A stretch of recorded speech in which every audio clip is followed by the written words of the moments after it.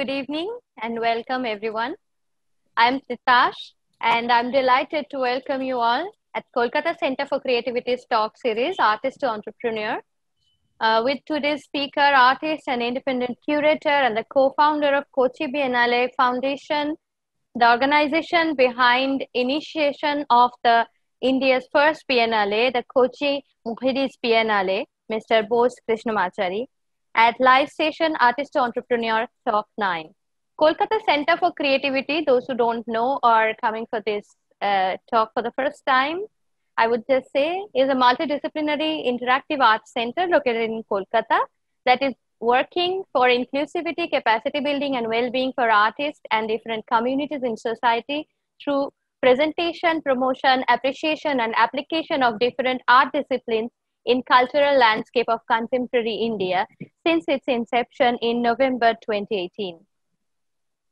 Our Artist to Entrepreneur talk, we started as a response of the time, eagerly with sincerity. In the time of COVID-19 pandemic, the field of art that has been run by public participation, patronage, and grants have already been seeing scarcity of resources and we feel that it is the time that arts, artists, social communities, and different organizations come together and discuss uh, to find out entrepreneurial possibilities and look into the methodologies of the masters to see how we can together uh, get through this uh, rough time and still create art and develop an economy for artists and all the allied possibilities. Today we have with us artist and independent curator, Mr. Bose Krishnamachari, whose diverse artistic and curatorial practice includes drawing, painting, sculpture, design, installation, and uh, architecture. He is the co-founder of the Kochi Biennale Foundation, the organization uh, who uh, creates and organizes Kolkata's uh, India's first Biennale, the Kochi Muziris Biennale. Uh, since uh, 2012, uh, he has served as the president of Biennale and the director of the foundation till date, overseeing four successful editions of the Biennale so far. He curated uh, of an image faster than light first edition of Yinchuan Biennale at MOCA Yinchuan, China, which showed the work of 73 artists from 33 different countries in the Museum of Contemporary Art, Yinchuan. He is a board member of International Biennale Association and an academic board member of the Taoxian uh, Chinese Arts and Science Project. In conversation with Mr. Krishnamachari, we have uh, the director of Kolkata Center for Creativity, Ms. Reena she has been spearheading many projects in KCC to promote research and development of different disciplines of art that leads to a volumetric and qualitative impact, not only in the art field, but also in the society, especially for the young artists and performers. Reena champions the uh, and facilitates the inclusion, diversity, and gender equality in museums and art spaces. She is pioneering social changes, creating an inclusive culture in KCC and addresses different abilities and choices, gender and sexual diversities, and marginalized communities through appreciation and application of art. I would request Reena ma'am to please take over the conversation from here. Thank you so much, Titash. Today is a very special day and i think more than me nobody is excited because this is something i have a master in front of me. I'm going to be greedy. So please pardon me if i ask more than i had promised you both. Public school background to international art world. Your journey is both inspiring and surprising. From artist to art collector curator founder of art gallery and founder of a biennale both i'm sure that when you are in front, you don't mind, you know that the opposite side will be very greedy. So here I am. Uh, instead of asking you about the Biennale first, which I had promised you, I want to talk to you a bit about the gallery and the artist before we move to our real conversation. What is BMB? There was a there is a gallery or there was a gallery in Mumbai. Can you just tell a bit about that? Yeah. Yeah, thank you so much, uh, Reena, Dewan, and uh, KCC for inviting me to be part of this uh, ongoing series, Artisan Entrepreneur. I, yeah, talking about gallery in Bombay, it is called BMB. Nobody knew what it was, you know, like BMB, you know, it was uh, in 2008 or 7, uh, my friend, artist friend, Dia Mehta, and her, her mother um, asked me to, you know, join their venture. You know, they, they had a space, uh, furniture, one side furniture, and uh, half part, quarter part of it was a gallery space in Mumbai. And it was really center part of Mumbai, in Fort, uh, Fort Mumbai. And then um, it's that building has a culture in some ways that, you know, uh, there's a Chemould Prescott is situated on the third floor of that building, and the ground floor was uh, Gallery BMB. And request of my friend, uh, I thought uh, I suggested to them if it is the entire place, if if you could give it, I would make it as a kind of gallery and uh, also make it as a kind of designed space. And designed by it was designed by Nuru Karim, and also i suggested to them that it will take when you start a gallery it will take time to even break even. You know you you have to invest first and uh, then you have to wait for the fruits to come. Maybe years to and uh, it i was uh, my idea was when i was discussing with them my idea was it was almost like a european football or now it is ipl you know by the best players in the art world, in the sense of best artists from around the world, and bring them and show their work along with the contemporary Indian artists and younger generation as well as, uh, um, you know, I was looking at uh, Indian art in that sense, you know. So, um, and also I have done, uh, you know, it was only existed for two and a half years or something like that.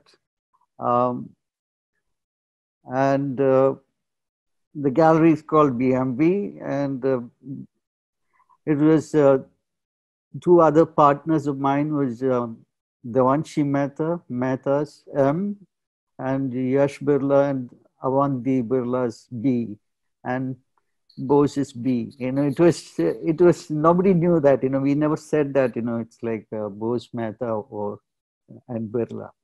So it was uh, my other two partners. I had to leave that place. Uh, it was one of the finest that period of time. Of course, we had, you know, in, in the 2008, uh, those period of time, economic fall off and, you know, like in the national art world, you know, everybody was closing down their gallery. You know, we used to have a fantastic gallery called, um, it's a chain of galleries called uh, Bodhi, which was closed down in 2008 and uh, 2009, I was curating the same time, I was curating India Pavilion in Arco, Madrid. You know, it was an art fair, but every uh, every year they invite a country to be part of it, and India was the guest country, and I curated uh, 16 galleries from India. And I was not curated, I was not curating artists, I was curating galleries. And I said, and uh, it was fantastic to be in that time of uh, you know it was almost like uh, still all our gallery people done extremely well in during in 2009 so bmb is you know like uh, that period of also i was working on different projects as well. And 2010 uh, the idea originated you know like when mr ma baby then Culture and Education Minister of uh, Kerala visited Mumbai at my home, uh, and then the extended discussion with my colleague artist friends like Riyas and uh, uh, Jyoti Basu, and that's the moment the idea originated. Because uh, Mr. Baby asked us, "What's the best thing can be done for you know?" After many many thoughts, he asked this question. You know, it was a late evening. Um, Oh, yeah. So we suggested after many thought, a Biennale can be done. You know, so a Biennale that that suggestion originated in Mumbai in 2010, May 30th. Mm. Yeah, and uh, since then, so actually, from the gallery, the uh, the Biennale originated. But before again moving to that, uh, you've been on both sides as an artist as well as as a gallerist. So we see that kind of a struggle that artists um, every day negotiate with, and, and there are many artists in in the talk today who are listening to us. So for their benefit, I would like to ask you, uh, as an artist, how should one approach a gallery or a curator? What are the maybe 10 steps to be a successful artist?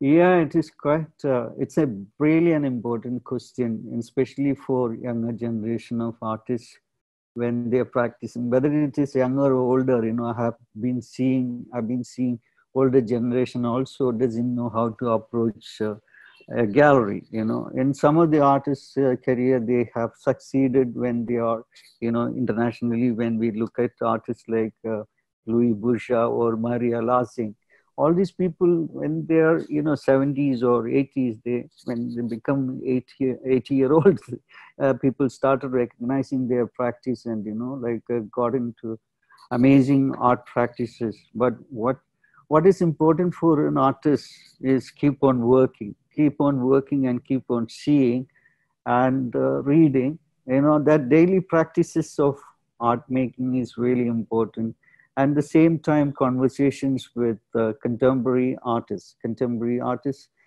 i i wish i would like to say about myself and i used to spend a lot of time with uh, uh, my senior artists from mumbai you know like uh, spent time very good time with uh, akbar padamsee lakshman shrestha uh, Prabhakar Kolte, you name anybody in Mumbai, I used to spend time with them. And also spend a lot of time with the young generation of musicians and uh, theater people, uh, filmmakers, architects, uh, artists like Sudarshan Shetty. And Sudarshan, when I sit with or live with, we stayed together for many months and years.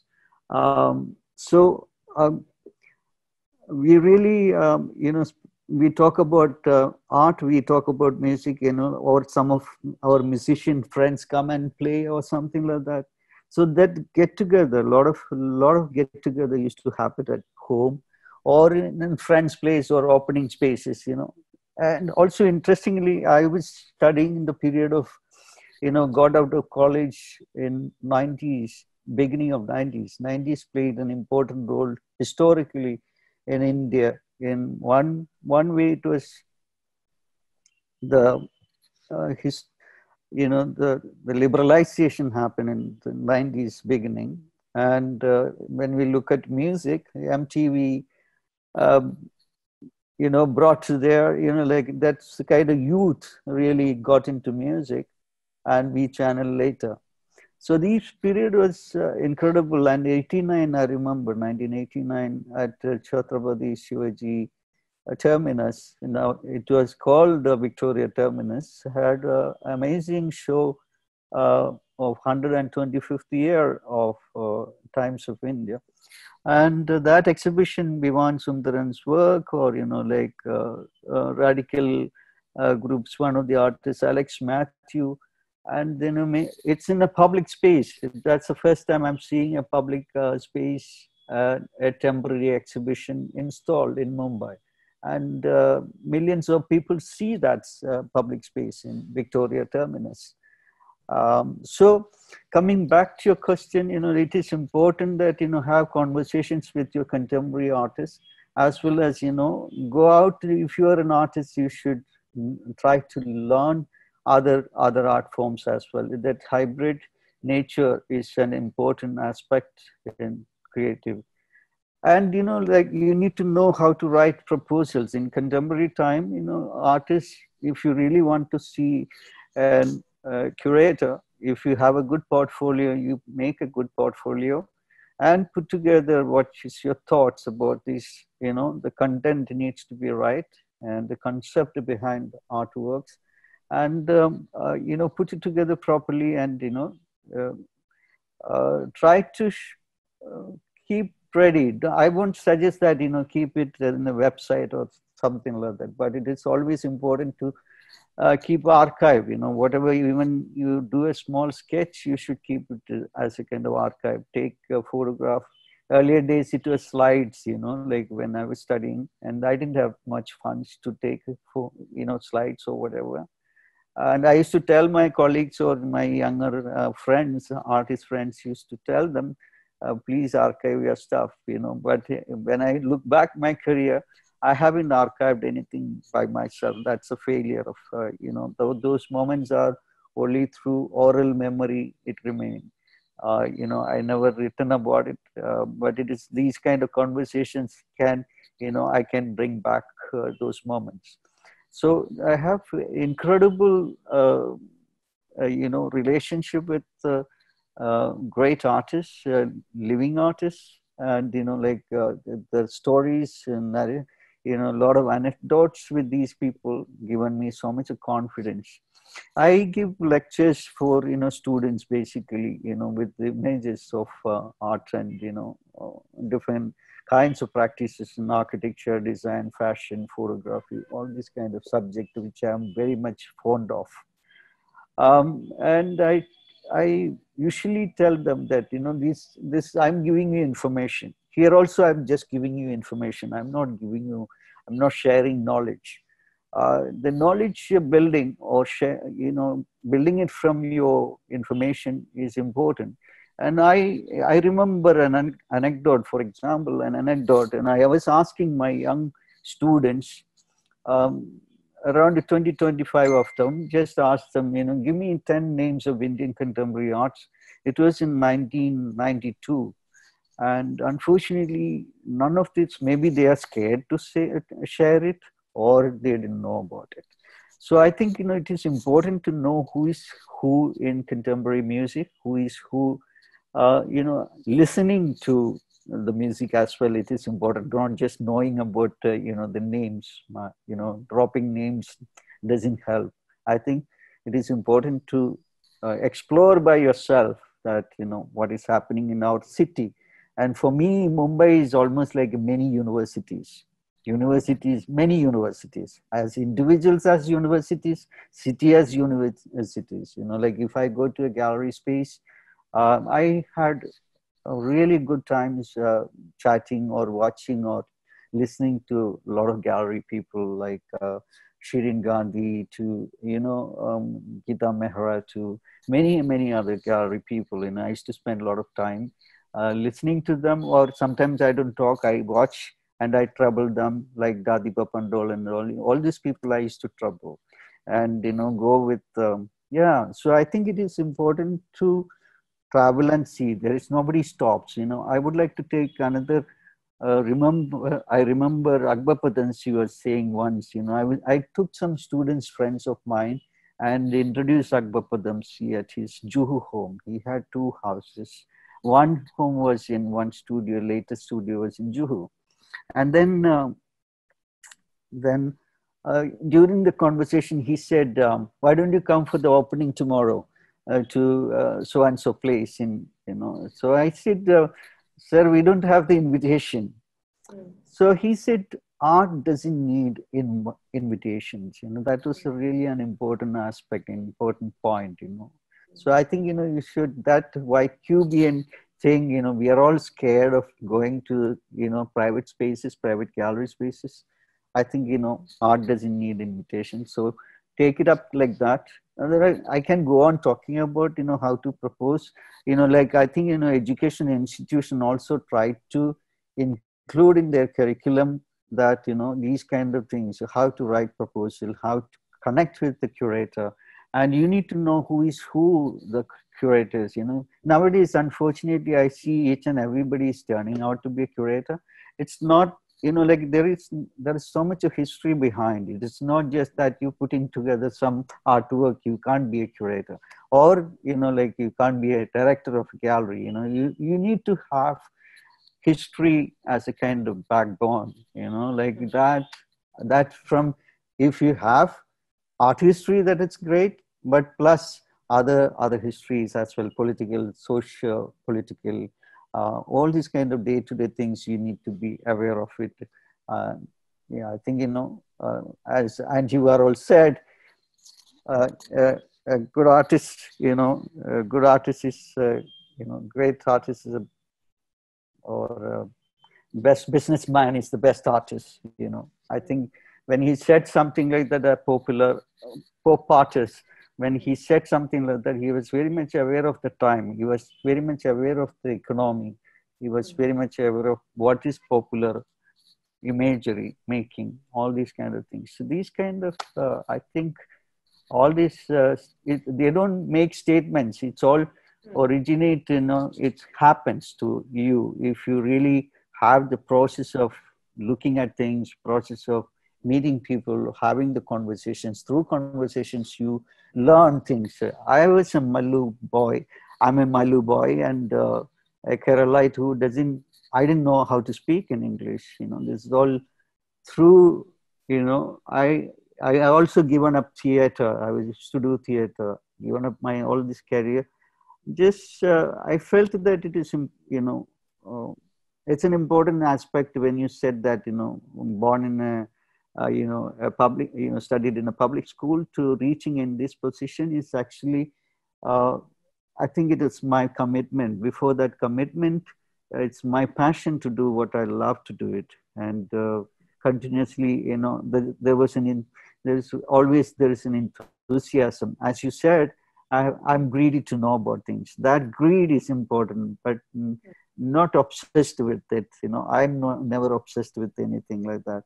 Um, but there was an enthusiasm to take me to all kinds of directions, all kinds of people I met through that. I learned so much from, and I owe so much to Mumbai City and, uh, you know, so, so, many friends, you know, like artist friends, Atul, to I can go on, you know, hundreds of names like that. No, lovely. It's it's really nice, and uh, I'll just remind the people who are watching that in case you miss any part because of internet problem or something like that, this conversation is right now live on our Facebook and will stay there, so you can go back, relook at it, re-listen the conversation.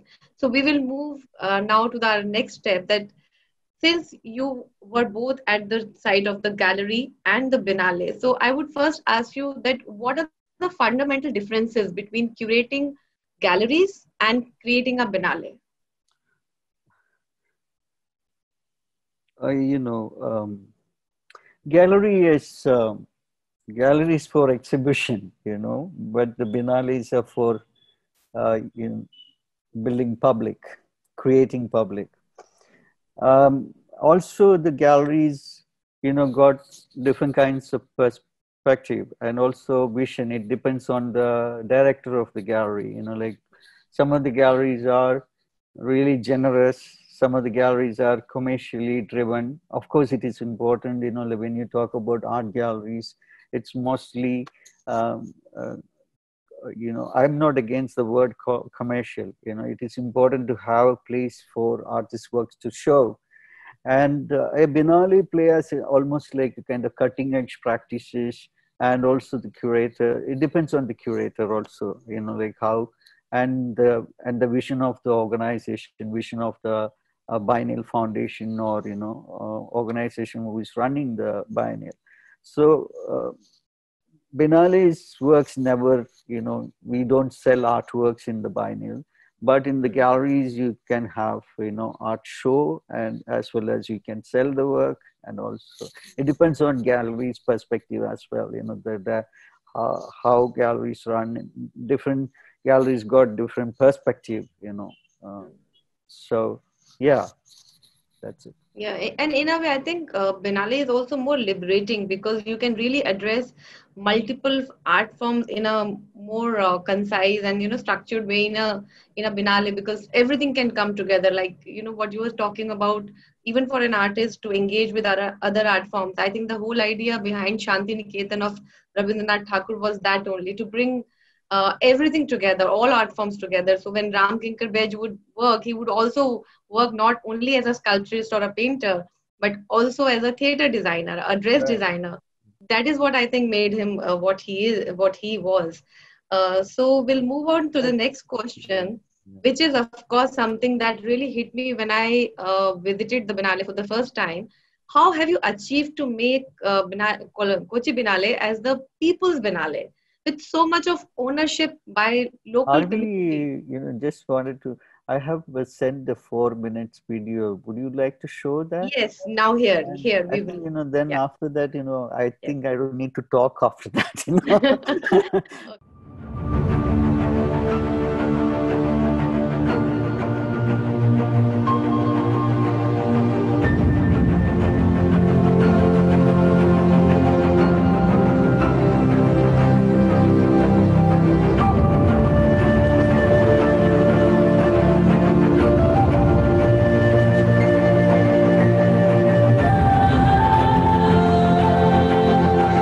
an extraordinary and intense experience. Biennale that doesn't feel like it um, has a relationship to a museum in the other same way as other biennales do. It feels very rooted in its uh, architectural vernacular context.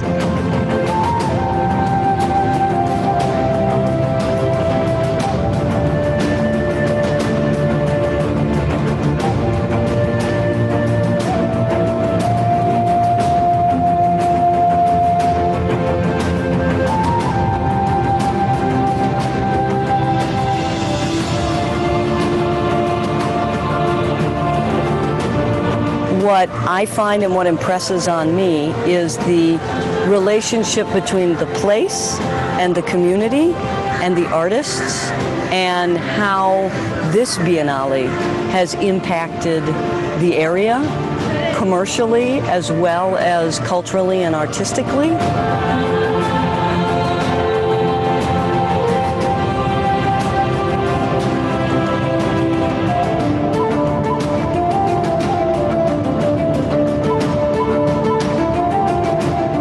It's particularly wonderful that the focus is both local, regional, and international. It makes it a very special Biennale.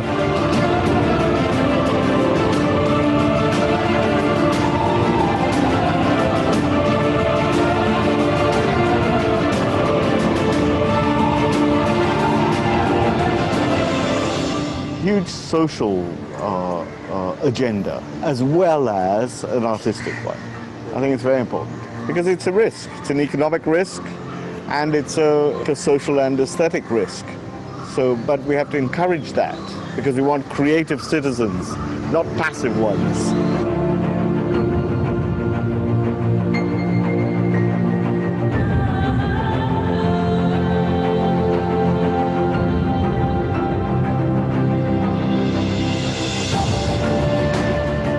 സാമ്പത്തിക വികാസ പുരോഗതിയിലും കൊച്ചിയുടെ സാംസ്കാരികമായിട്ടുള്ള മുന്നേറ്റത്തിനും ഒരുപാട് സംഭാവനകൾ നൽകുന്ന സാംസ്കാരിക ഉത്സവമായി biennale മാറുകയാണ്.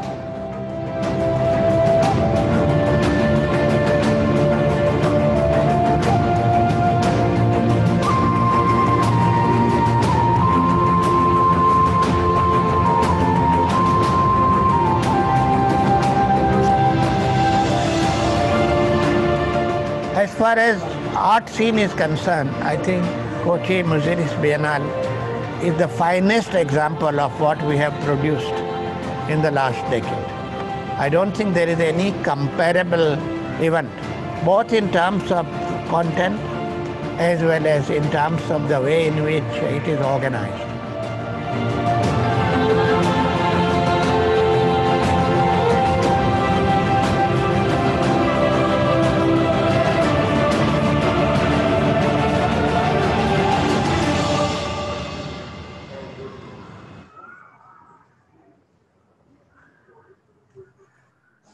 So I I don't know.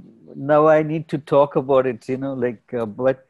Um, can you repeat your questions again? sure, sure, I will.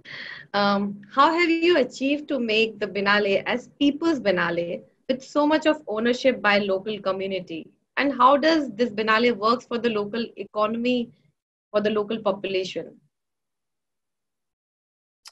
Oh, the critical element is the curiosity and interest of uh, people themselves. People come to the Biennale not with the familiarity. with the contemporary art, but with the political and cultural awareness. We have to be able to rep- respect that and create conditions where this kind of curiosity can be developed. So when you notice that uh, the program, you know, like the cultural program within within part of this curated um, uh, there are many verticals are also uh, given strength to this uh, biennial. Uh, students Biennale, for example, it's it's one of the most important, uh, you know, festivals. Part of this uh, is um, part of it, and ABC Art by Children is another vertical. Then we have a curator film screening and cultural program. Uh, this is all uh, because of, I think, building naturally, organically on the ground, you know, understanding the cultural di- uh, diversity of that land. It's almost uh, that land, uh, when I look at it, it's almost 44 different kind of community lives in this 4.5 square kilometer area and uh, people uh, around 13 to 16 different kind of languages people speak um, mm. in this uh, small location and that mm. location is already prepared from the memory of Muziris. Muziris is almost like a mother and Muziris was vanished in 1341 and the new port originated new site originated that is uh, Kochi, Fort Kochi. So Fort Kochi and Mattancherry, this this area, uh, we it's already a prepared land um, sociologically and the human condition. And uh, when we look at it, the heritage, the human heritage, to the heritage site itself, the architectural site itself, given mm. the strength to, to you know um, a receptive land. You know, when I look at it, it is a kind of receiving end always this land become almost like uh, all kinds of cultures being received by the city you know absorbed by the city so develop you know there we need to only um, you know just uh, just throw some seeds it will grow by itself you know that kind of space you know but you know people were not really as i was mentioning about it people were not aware of this word called biennale or biennial.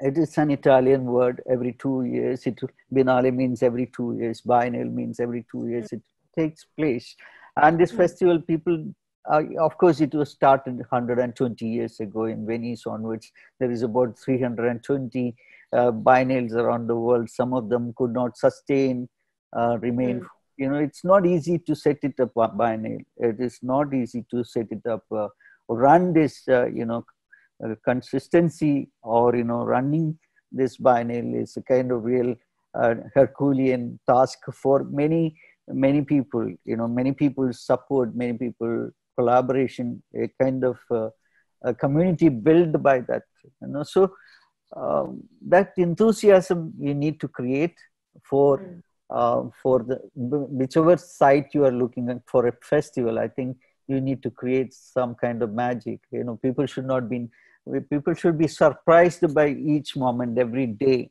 Surprises mm. should be there. The programming should be something like that you know. You give surprises uh, and then um, you know uh, there should be some kind of mystery um, uh, when we working towards uh, mm. you live in this present moment that's the kind of situation we provide to people it is an open hmm. space there is no white cubian space uh, we could erase that uh, white cubian borders and the hmm. walls and uh, open up to the public you know so that uh, public public participations means it is it is national international as well as other other friends and you know the testimonies uh, said by other friends uh, so yeah I can go on talking about the Biennale for hours. Uh, from here, from here only, I'll take the next question, which is you spoke about the students Biennale. So I understand there is a sort of a residency also that uh, works over there. So yeah. tell me uh, how how should one plan a residency because it is very important element for artistic uh, growth and artistic development. So How Yeah. does one? Um, Do you want me sort to show you one slide from my my Yes. selection? Uh, Yes. So this art world consists of these many many faces, many steps, or many. Um, so one is, you know, uh, you were talking about art residencies. Hmm. For me, this this image of uh, Kala is uh, uh, almost like a residency place. I think I would suggest to all my students, friends, to look at when you are studying in a university, think that that is your you know that is your residency. Hmm. Uh, it's in a larger sense. I mean it. You know, really, you you live in that place, you work in that place. You know, if the freedom allows, you know, 24 hours in your institution, that's the best residency can. You know, the university gives that 24 hours of access to their libraries, to their studios, or foundries, and things like that. There you can create magic. You know, Shantiniketan set it up almost like a kind of home. So create homes in different, you know, residency, you know, means a home. You know, create homes where you invite guests, and master guests, or you know, student guests. You know, those those kind of things. There are really interesting residencies around the world. I I, w- I was part of some of the finest residencies. One was in, you know, received an award in 1996. Uh, this was also, you know, you put together your proposal and, you know, it was, there was only one, one award in, from USIS. So it was, it's like, you know, you, you believe in your work and you got your, this award to travel around uh, US. You know, I was in Washington, Chicago, Atlanta, Santa Fe, LA, San Francisco, and New York. So it's no, and my idea is, you know, when you received a, receive an award uh, or a residency, and the late, the last part was a residency for 45 days in Sausalito, and that's in San, San Francisco, closer to, uh, you know, um, so it's a beautiful place, and you know, and it's a place called Headland Center for Visual Arts. So every day we used to, I, people, artists from around the world, Mexican artists, uh, and you know, from uh, you, artists from different parts of the world was part of that residency. So a lot of interesting conversation if you wish to have it. And also artists in those period, I've seen some artists used to work with the scientists and, you know, like amazing to watch people, you know, just some artists works with uh, material, smaller, you know, like collages. Uh, incredible, interesting projects, you know, you could have, you could see, share the beliefs and the culture where they come from. So the residency can conceptualize in such a way that uh, it can be for all kinds of uh, creative people you know some of the residencies the writers residencies are there curators residencies are there you know also artist residency musicians residency. I think you know it is it should be a kind of amalgamation of all kinds of creative industry should come together. That's a place. I think institution should be that liberal. But i still when i use this word i would i would like to be really uh, I would like to be a little bit cautious because I've been seeing a lot of students coming out of liberal schools and very much confused. I think you know it is lack of lack of deleting, lack of deleting in the sense of their philosophy, their ideas, uh, to be they never had the chance of uh, channelizing it. And also they are, I found them most of them are unfortunately, um, you know, their skill was quite uh, quite poor and they are also very much aware they are they are not they don't have that skill uh, development uh, sessions much in those kind of institutions. It is important as i said in the beginning uh, that daily practices makes you gives you so much of confidence that you know you can do any kind of stuff you know not only painting or sculpting but you know like reading all kinds of things i believe.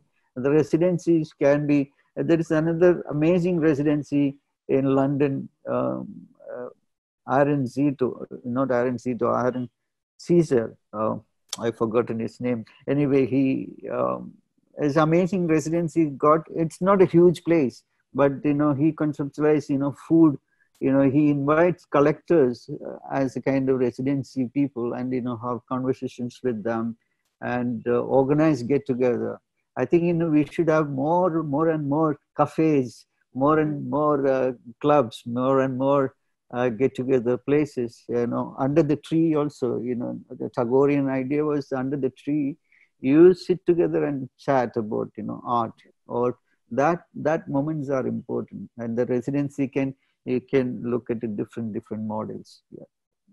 Lovely. Um, now that a bit of uh, word collector has come in i would bring in uh, a little bit question away from the Biennale because one of the people in the audience also has asked, and I also wanted to ask myself. This question is from Anuradha Gupta. She's saying that uh, what about young art lovers who are interested in, and by the way, I think you're talking of Delfina Foundation. They do something yeah, for collectors, yeah, right? That's right. That's yeah. right. Amazing yeah. So, yeah. I mean, so, like it's a small place, but uh, you know, must check it out. It's in the center of uh, London, and I was, you know, it's you know that programming of that place made that place uh, important in, internationally you know programming of that place. So wherever you have you know any institutions uh, any project i think the program sections needs to be your your really a backbone or something like that Right. So we'll take Anuradha's question. She is yeah. asking, what about young art lovers who are interested in art appreciation? Where would you suggest they start from and build a private collection? What is the definition of good art and how does one identify it? Um, can you read it again if you don't mind? Basically, she is saying that how one starts developing a collection and how uh, to identify good art from not good yeah, art but yeah there is nothing called not good art. Yeah.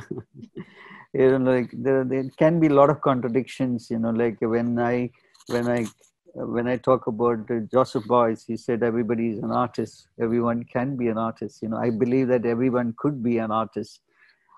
Um, the best way to learn about artists um, you know i think uh, it's, it's a kind of continuation of that process of looking around reading about you know it is always interesting to read biographies you know and interviews by um, artists artists and interviews. And also live with artists. That's the best way to learn you know. Living with artists or work with an artist uh, artist studio um, that gives you much more ideas uh, that's also important that who who is who you're meeting whose studio you spend time with you know.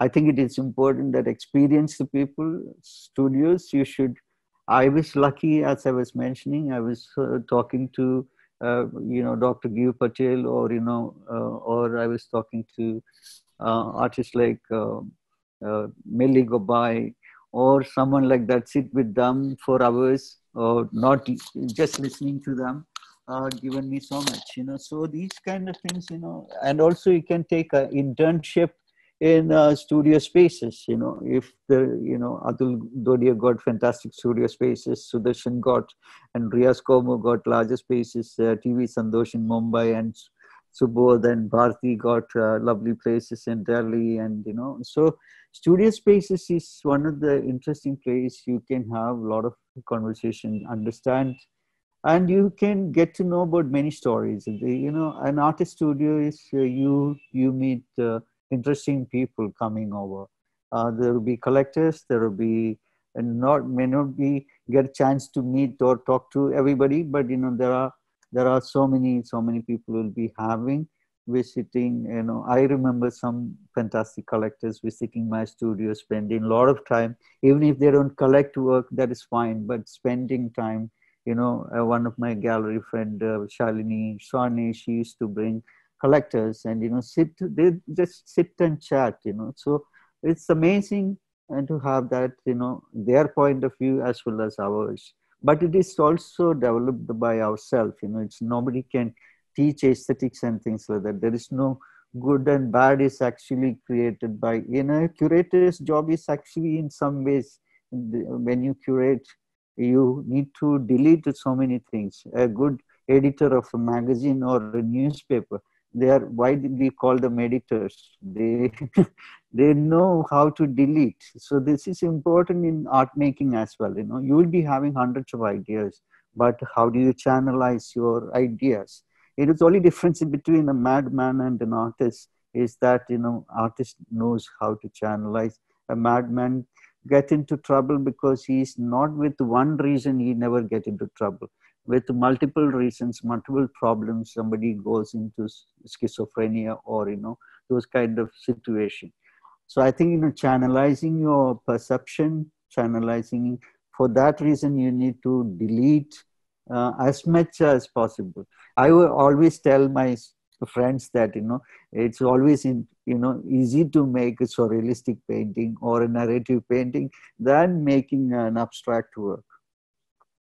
You know so there is a kind of so many you know like there's so many learnings goes behind each and every every schools of thinking that schools you need to know what are the kind of schools of uh, aesthetics are there movements are there. Uh, so the collection is i i collected started collecting. It, it is very intuitive because you every day almost every day you see some um, studios or gallery spaces or i work on my spaces you know. Whatever i collected it's uh, collected from i i sold my work from that i used to collect. I never born as a kind of rich boy or you know rich guy. So I, it's all the wealth comes through uh, you know uh, so it's a kind of uh, jumping or you know stepping to another another level it comes from the roots. That roots you need to have uh, really strong you know. I fortunately my roots were fantastic you know because i i was sociologically or politically conscious economically aware of the situation because i was born in kerala. I was uh, you know well educated people and surrounded with them you know but at the same time they're all from village but i could see there is kind of uh, uh, aesthetics also originated from that land you know like there is kind of contrast or you know polarities or that uh, that extremities coexist in that land you know like amazing performative works. I can see it in Theyyam the same day same time you know somebody is wearing a munda a white lungi or veshti it's very minimal like a gandhi you know. So i could relate to these kind of things and also politically conscious. That's where I think it given that strength to read my society in Mumbai. So uh, if if my roots were strong from Kerala, the, the branches definitely because of uh, the, the Mumbai landscape, the Mumbai universities, as I mentioned earlier, individuals as universities, city as universities, yeah.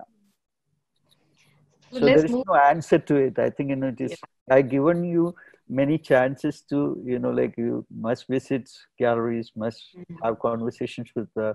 You, there are consultants. You know, if you really wanted to buy artwork, art consultants are there. You know, in in the you know many people worked with the auction houses. Auction houses also can give some kind of ideas, and you know there are.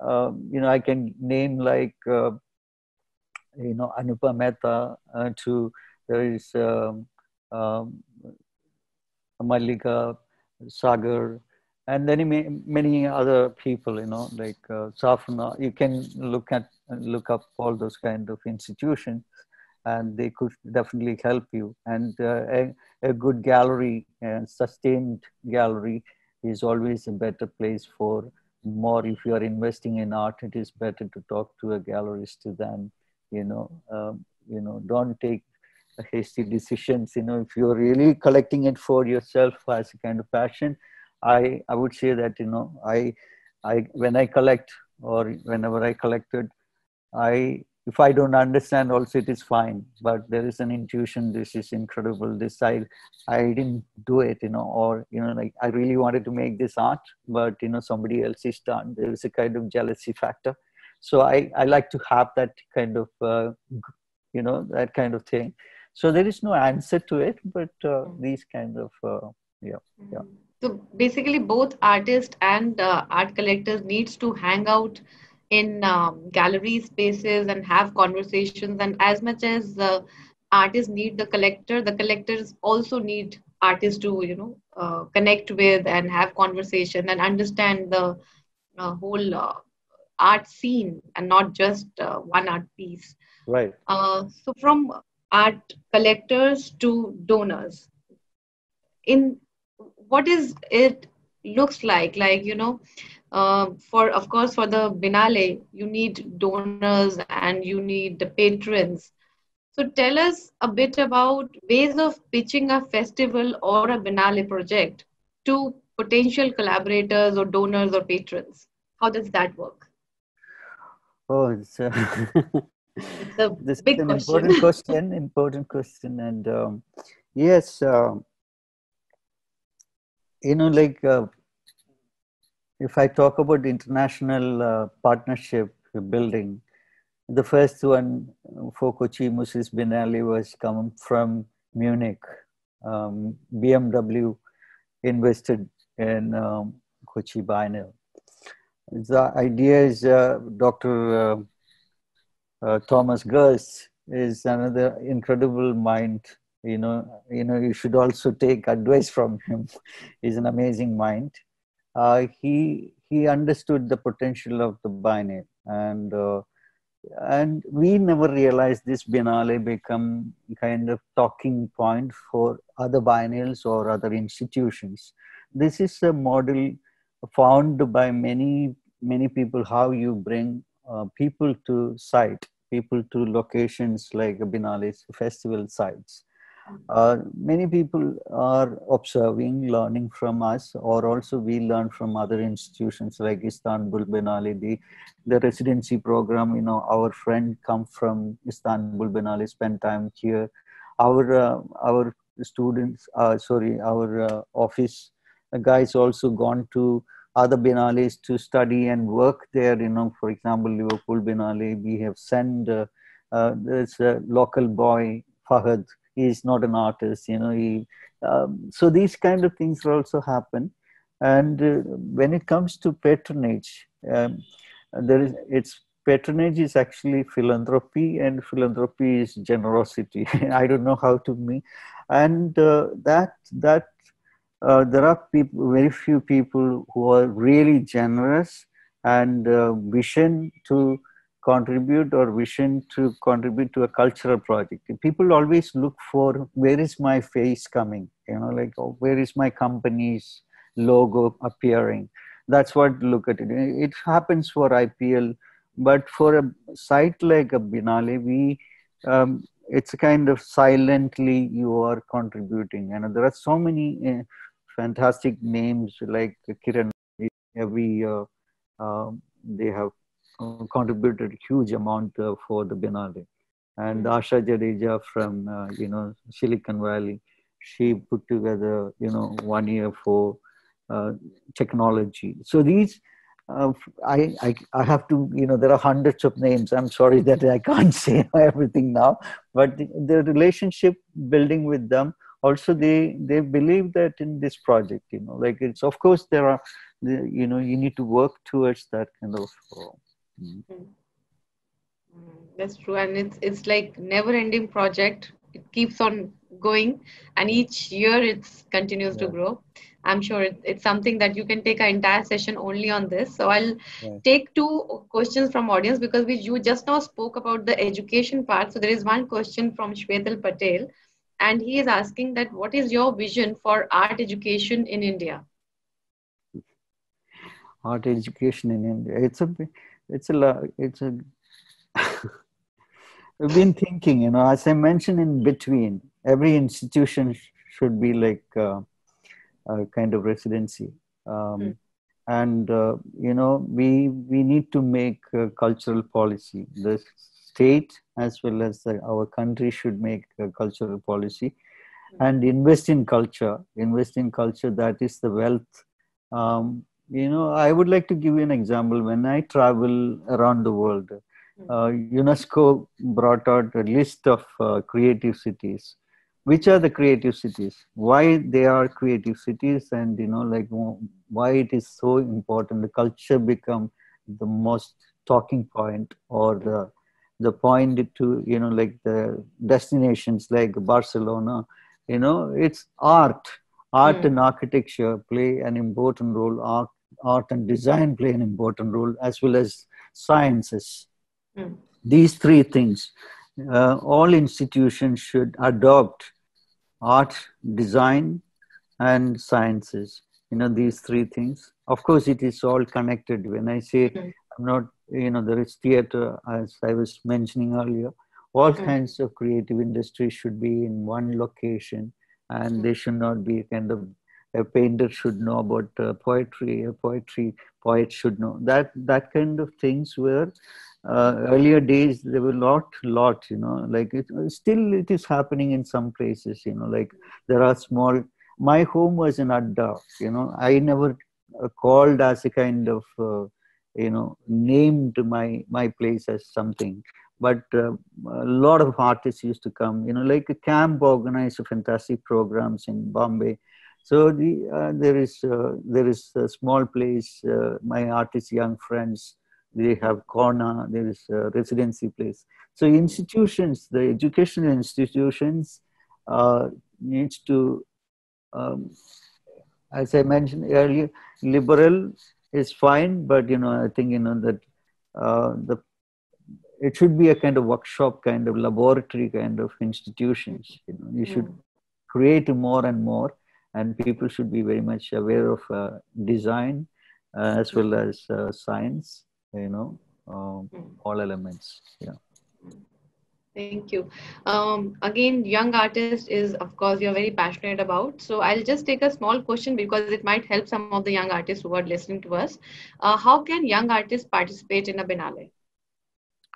there are two biennales uh, one is uh, students biennale you know and uh, the uh, Kochi Muziris Biennale for us. You know, there are, as I mentioned, there are 320 biennales. So you uh, create, you keep on working, and you know, put together a wonderful portfolio and send it to the foundation. Info at kochimuziris dot uh.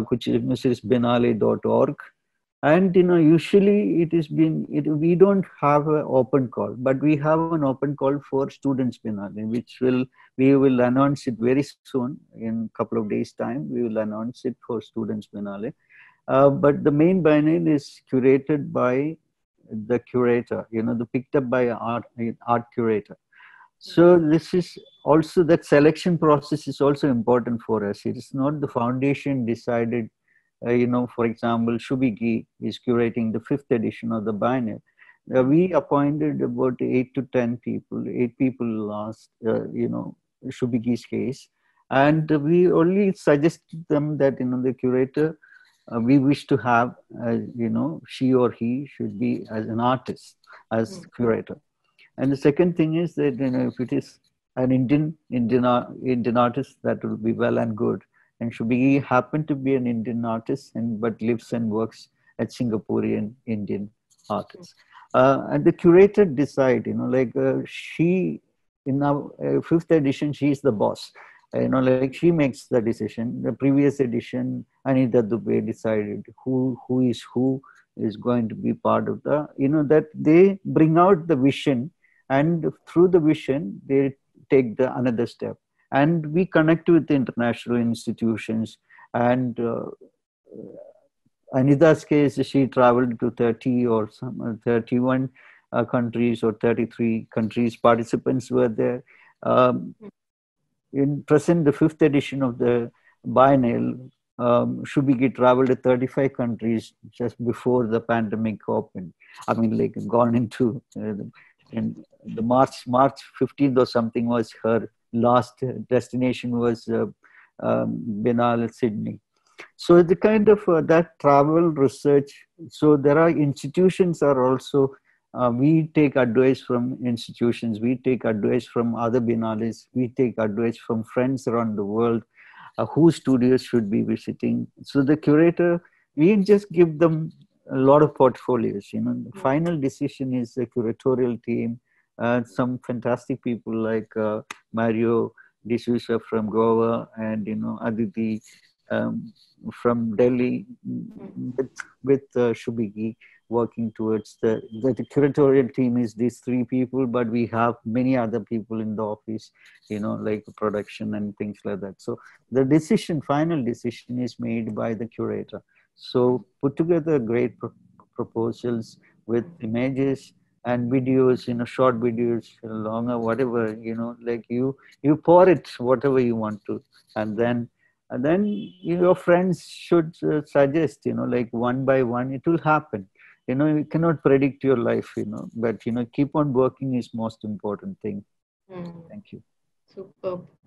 So um, we are almost uh, covered our time. So i have another question from my list but before that i'll just talk to the audience that some of the questions that you have asked like uh, the the funding process and sponsorship, etc., have been answered. In case you have missed, please go to the uh, FB page and listen from there. And some question I can see are very personal to. You can write to me. You can yes. write to me right. if it is like you know Kochi info at kochimuzirisbiennale.org or both krish at kochimuzirisbiennale.org. But always may not be, I would be attending, but you know, please try you know many times you know sometimes. I i like to you know attend every call. I like to talk to all young people. And not only young people i have lots of supporters from artist supporters you know patrons. All of them i need to chat with.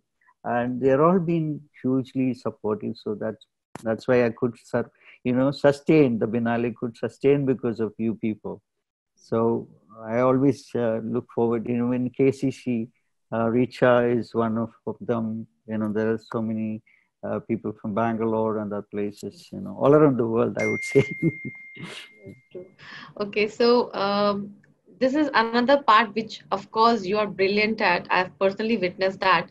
So my question is, how did, how did um, design the promotional part plans for the first Biennale when you started, when it was yet to achieve its reputation?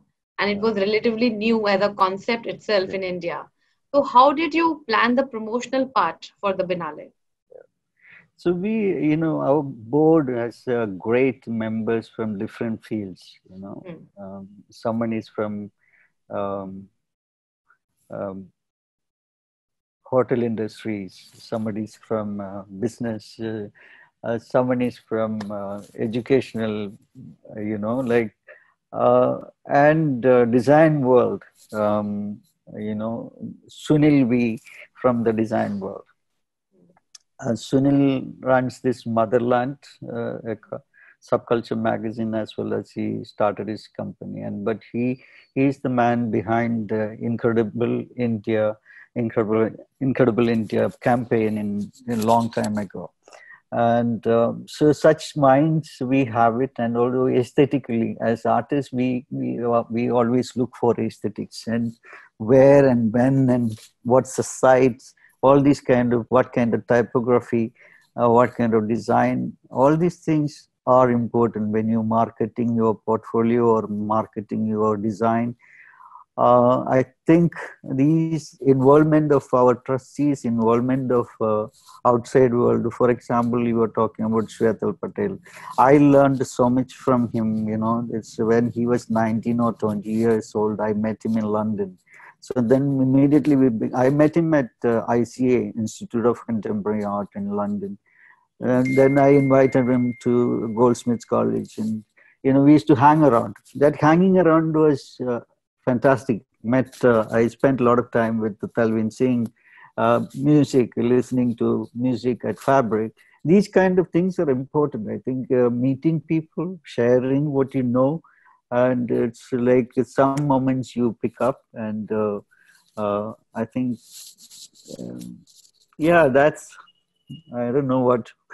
Um, so we were back. talking about the promotional yeah. plan so let yeah, uh, because plans. yeah like so um, how do you promote something so then design part is an important aspect and you know like and uh, and when we thought of uh, building up the biennial we created small brochures you know what is a biennale why we are doing it in malayalam as well as in english uh, and uh, which are the best biennials around the world. You know, these small two, three things we given it to a lot of auto rickshaw guys, uh, theater people also played, and some of our uh, young people went around and given talks in art institutions or, and uh, local colleges and schools with slide presentation what is art? They were not talking about Biennale but you know like theater people theater sketches they have done it you know like went into some of the 10 of our uh,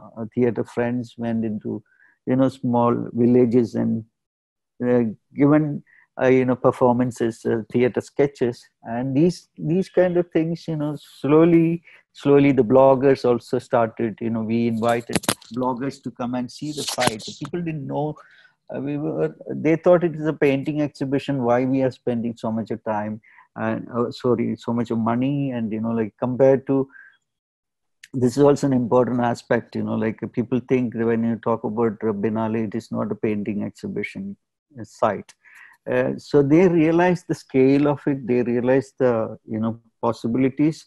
Then immediately things change because of the um, because of the bloggers, because of this. That is local, lot of local um, press, and there were a lot of controversy as well. You know, like uh, uh, corruption charges and all those kind of things. You know, so which was also helped in some ways to, uh, pro, you know, uh, we were um, we were quite. Uh, so the learning comes from these kind of things. You know, um, how how you can adapt how you can bring audience. So that's that's the way we designed uh, it is our Biennale it is my Biennale that kind of uh, slowly we developed that in all previous editions. And not the first edition we mentioned something like that but you know slowly we built it up.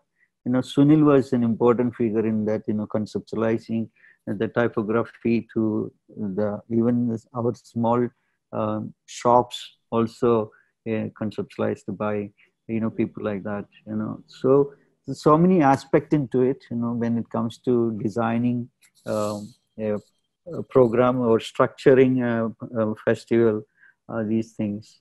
Um, so as i mentioned earlier that conversations from one person suggest something and you know that uh, we'll mark it up and you know finally make a decisions that uh, still there are failures and you know like the success also you know we we like to learn from each edition. So that's how it is from the for example the uh, you know your question was something else but i'd like to say that you know we invented or we have you know initiated the um, uh, initiated the um, students Biennale in 2014 and then uh, ABC Art by Children I wish uh, you know we um, recently we made into the art by children kind of family webinar kind of thing. Uh, children with their parents, you know, attend this webinar internationally. You know, I I have I was there in the first uh, session, so I could see somebody from the family from Germany and family from local areas and participated. And you know, these are the kind of every step uh, the students Biennale was uh, initially 15 young curators got an, a chance and the second uh, edition had 15 other young curators and the fourth hmm. edition third edition we thought let's bring uh, expert and you know hmm. artists we brought experts so each edition we are thinking differently this edition uh, students biennale is going to be virtual and we will uh, definitely uh, you know in two days time we'll announce the open call and hmm. you know things like that so um, I I can go on the design part of it, but you know, not in one one line. I cannot say that. yeah. Thank you so much for sharing. But as I said, I'm greedy. Uh, I said my last question, but now is my last question. Really, last question. So, um, since you spoke about the government being a very uh, your first uh, patron, so uh, what are the pros and cons of having government advocacy in creating art creating uh, art festivals, how it is or it was with Kochi Biennale. Yeah. What are the pros and cons of having government advocacy in creating art festivals? Mm. A great question. And uh, how was it while creating something as big as Kochi Biennale? As formal representatives of the people, the support of the government is important. Uh, the state is the institution with the most resources, and I think creating conditions for the development of art and cultural projects is a major responsibility of the state. Unfortunately, in India, as I mentioned earlier, we don't see enough of this, uh, and uh, whatever support there is for traditional or uh, nationalist art, nationalist art. Uh, we are fortunate that the government in Kerala understood the project as an artist initiative and have always respected the independence of the organization. So never had uh, never had uh, somebody coming up and saying that you know uh, we never lost our creative freedom because they are you know so that that we have that our autonomy uh, the foundation got our autonomy to create the Biennale.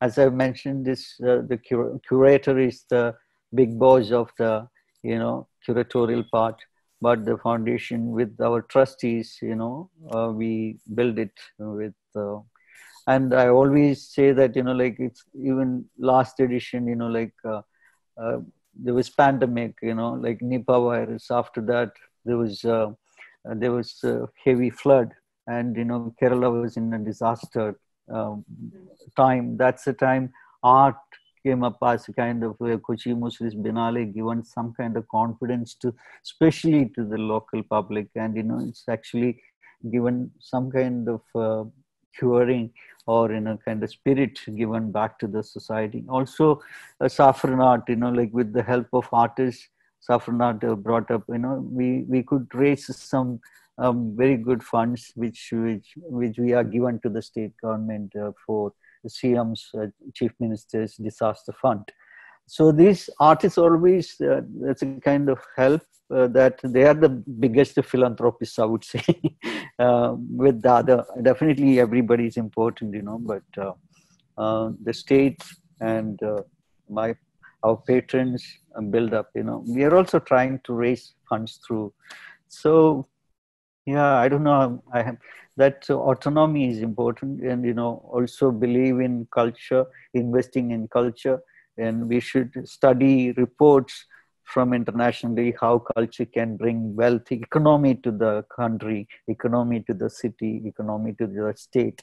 Each state should build some museums and cultural centers. Uh, kerala is building 14 um, districts, they are building 14 cultural centers, you know, with the five, um, it's not a huge amount like, you know, um, Bihar put 517 crore to build their uh, Maki designed museum, uh, Bihar Museum. But here it is uh, 50 crore in 14 um, districts. It's a great idea. So I think, you know, we have about 640 districts in India I think uh, the country should invest in culture, in not in one sculpture for 3,000 crore. I think you know we should uh, divide that into 29 states, look at equally every state, and not a kind of parochial way. I think uh, uh or nationalistic way. We are we you know the 90 you know I would like to say this, with, then I would like to end that you know, in the 1940s, the nationalism is not the present nationalism. Uh, religion um, driven nationalism is dangerous for our nation. And that is understood. I think, you know, many of our, uh, we are all insecure in some ways. I think culture can bring great wealth.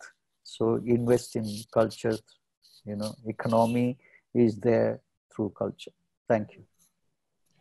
Thank you. Thank you so much, Bose. It was really, really uh, not only inspiring, but a lot of knowledge uh, coming from your personal experience, which you shared with such a open heart, which of course, I think that is the foremost reason people fall in love with you the moment you that the moment they meet you is that because you're such such an honest person open hearted you love to share. And thank you so much for being so generous tonight. And these conversations will uh, not will never end. And i hope that we get more and more chance to have conversations in person and the world become a better place again where we can meet with each other without masks soon. So thank you so much. And I uh, give the mic back to Titash, the boss.